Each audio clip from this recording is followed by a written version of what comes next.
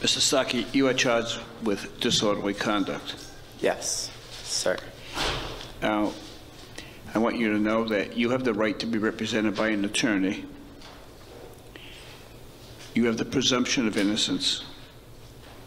You have the right to have the city prove each and every allegation beyond a reasonable doubt.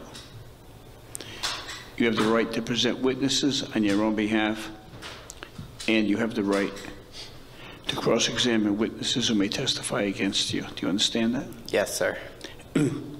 And you have the right against self-incrimination, which means you don't have to say anything. Do you understand that? Yes, I understand, sir. Okay. Can you afford an attorney? I can afford Okay. an attorney.